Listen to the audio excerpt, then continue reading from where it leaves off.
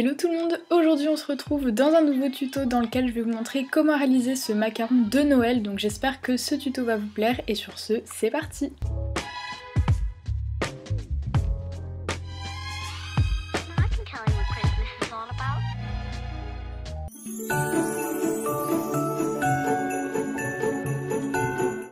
Donc pour le matériel, vous aurez tout d'abord besoin d'un scalpel, de pinceaux,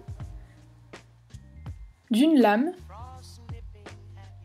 d'une aiguille, de dotting tools de différentes tailles, d'outils en silicone,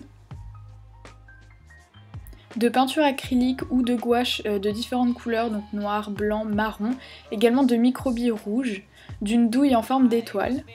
Pour ma part, je me suis servi d'un pochoir de chez Graines Créatives. J'ai utilisé de la pâte vert foncé, également de la pâte caramel,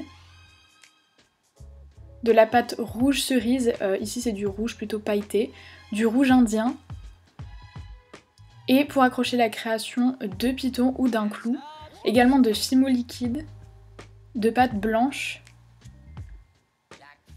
et enfin de pastel sec.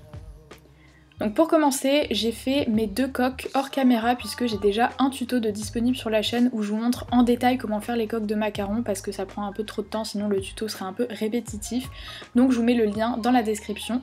Donc pour commencer, j'ai fait une coque caramel et je vais venir utiliser ce motif du pochoir. Donc euh, c'est un motif un petit peu zébré ou bois, ça dépend comment on l'utilise mais c'est pour donner du coup un effet un petit peu de bois. Donc pour ça je viens le placer sur ma coque. Et ensuite par dessus je viens râper des pastels donc différentes teintes de marron qui sont plus foncées que ma pâte pour pouvoir faire ressortir le motif. Donc voilà je les râpe par dessus et ensuite je viens prendre un pinceau et je viens euh, toujours avec le pochoir bien bien appliqué sur la pâte je viens euh, étaler le pastel avec le pinceau. Donc voilà pour bien le répartir partout. Et ensuite quand on va décoller le pochoir le motif va apparaître. Mais il faut faire vraiment attention de ne pas toucher la pâte parce que euh, le pastel n'était pas vraiment bien enfin n'adhère pas très très bien à la pâte donc du coup ça effacerait le motif donc faut faire très attention et pour donner un effet un petit peu de neige poudreuse qui se serait déposée par dessus je viens râper du pastel blanc uniquement sur un côté de la coque. Ensuite on va venir faire la petite pomme de pain, donc c'est vraiment euh, l'étape un petit peu euh, complexe de ce tuto puisque c'est très petit et très euh, détaillé. Donc on va commencer par faire un cône de pâte caramel et ensuite on va venir faire une petite boule de pâte caramel qu'on va venir aplatir. Et on va commencer avec un outil en silicone pour faire comme des petites dents tout autour de la pomme de pain. Et on vient tout simplement faire des, voilà, des petites dents. Et avec une aiguille on va venir faire des petits traits pour prolonger en fait les, creux. Je sais pas trop comment décrire, mais je pense que vous voyez très bien l'image. Et ensuite, avec un gros dotting tool, je viens faire un creux au centre et en fait, ça va être la base de notre pomme de pain. Donc pour continuer euh, les petites dents en fait de la pomme de pain, on va appeler ça des dents parce que je sais pas trop comment on peut appeler ça. Je vais venir creuser en fait euh, chaque petite pétale, chaque petit, euh, petite dent. Et ensuite on va venir poser le cône qu'on a fait préalablement dans le creux. Et ça va être donc un petit peu le, cône central sur lequel on va pouvoir fixer toutes les autres petites dents, les, petits pétales on va dire de la pomme de pain. Et pour euh, les faire tout simplement il vous faut une petite boule de pâte et on va venir la creuser avec un dotting tool et euh, faire adhérer en fait une des extrémités sur euh, le cône central et on va venir ensuite replier très délicatement pour euh, former en fait les, pétales qui tournent autour de la pomme de pin. Et il faut faire ça sur chaque étage, donc on monte jusqu'en haut et voilà. Et ensuite je suis venue colorer cette pomme de pin pour donner un petit peu plus de dimension avec de la peinture acrylique. Vous pouvez prendre n'importe quelle peinture, de la gouache, de l'acrylique, peu importe. Et j'ai fait un marron foncé en mélangeant du marron et du noir et je viens en mettre par petites touches sur la pomme de pin. Et pour lui donner un effet aussi de, neige qui se serait déposé dessus, je viens tapoter un petit peu de peinture blanche, mais vraiment très légèrement avec le bout du pinceau, uniquement sur euh, le, côté en fait, je sais pas trop comment dire, mais voilà, vraiment très délicatement, faut pas que ça recouvre toute la pomme de pain et qu'elle devienne entièrement blanche. Pour les petits sucres d'orge ou le petit sucre d'orge, ça dépend si vous en faites un ou plusieurs, on va venir prendre de la pâte rouge et de la pâte blanche et on va venir former deux boudins à peu près de la même taille et de la même épaisseur et on va venir les entortiller ensemble, donc voilà, les, twister avec euh, les, mains. Et pour pouvoir assembler euh, les deux morceaux de pâte ensemble et avoir un résultat lisse, on va venir rouler en même temps et ensuite retwister et euh, répéter en fait la même chose jusqu'à avoir euh, bah, ce qu'on souhaite en fait fait, donc à peu près l'épaisseur qu'on veut. Et moi j'ai fait quelque chose d'assez fin euh, puisque je voulais pas que ce soit trop gros sur le macaron.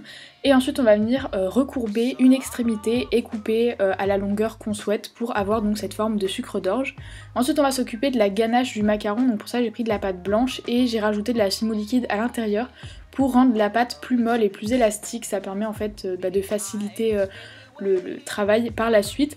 Et ensuite on mélange, on s'en met un petit peu sur les doigts, mais euh, après voilà, il faut pas en mettre trop d'un coup non plus. Et euh, faut pas que ce soit non plus trop collant et élastique, faut pas que ça colle aux doigts, sinon après ça va être beaucoup trop mou. C'est juste pour ensuite aider quand on va venir pousser la pâte dans la douille, ça évite que euh, bah, ce soit trop dur à faire et que la pâte s'effrite.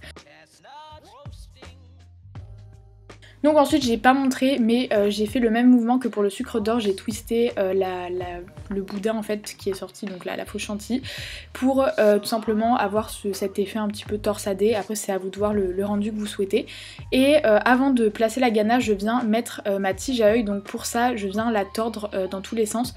Ça permet en fait de pas par la suite avoir la recoller et ça rend le clou plus solide en fait puisqu'après on va venir le placer sur la coque. Donc la coque d'en bas du macaron je l'ai faite en rouge euh, pailleté.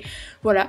Et ensuite on vient poser donc euh, la tige à œil par dessus et on vient rajouter un petit peu de pâte pour vraiment solidifier le tout et vraiment euh, que le, clou soit soudé à l'intérieur de la pâte. Et ensuite on va venir rajouter donc la ganache tout autour, donc pour ça je viens la placer à une extrémité du clou et je fais tout le tour, je la place tout en la tournant un petit peu pour qu'elle garde cette forme.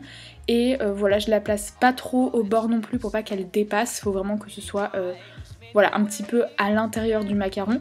Et je viens couper l'excédent avec un scalpel et euh, ensuite avec un dotting tool je vais venir euh, relier les deux morceaux pour qu'il n'y ait plus de démarcation et que euh, on ne voie plus bah, l'endroit qui a été coupé.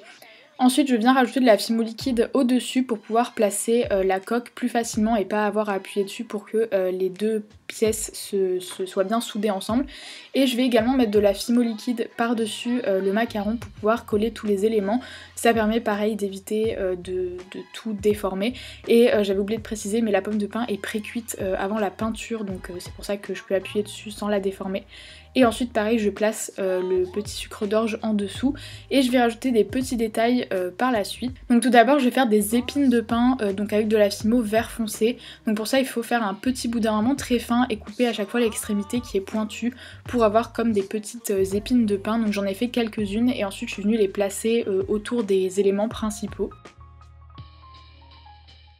Et ensuite j'ai décidé également de faire une sorte de petit coulis euh, avec comme des petits fruits rouges. Donc pour ça j'ai pris un peu de fimo liquide et j'ai rajouté à l'intérieur des microbilles. Donc ça permet que les microbilles soient plus simples à appliquer vu que du coup elles vont coller. Et j'ai également rajouté un petit peu de pastel rouge pour euh, donner de la couleur euh, à la fimo liquide. Pas trop non plus mais c'est pour avoir un petit côté rouge translucide comme une sorte de, confit de fruits. Et ensuite une fois qu'on mélange tout on va venir avec le dotting tool en appliquer pareil sur certains endroits. Pas trop non plus pour pas que ça étouffe, mais euh, pour compléter un petit peu, combler les trous qu'il y a entre les différents éléments. Et comme vous pouvez le voir, donc avec l'aiguille, je place les petites euh, épines de pain et j'en mets euh, par deux ou trois à chaque fois pour pareil entourer en fait les éléments principaux et combler les trous.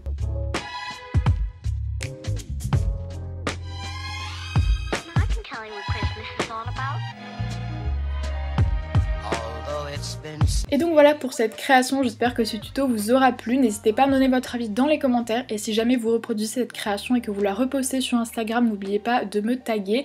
Et sur ce, je fais plein de gros bisous et je vous dis à la prochaine. Bye tout le monde